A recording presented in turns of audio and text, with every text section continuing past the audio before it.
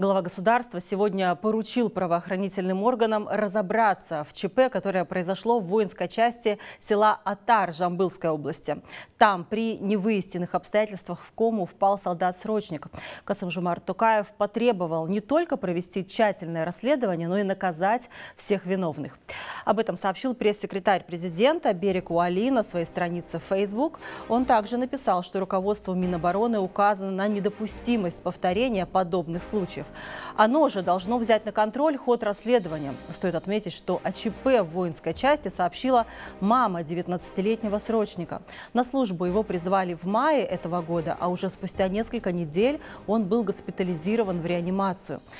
Родители военнослужащего сообщили, что их сын подвергся физическому насилию во время прохождения воинской службы.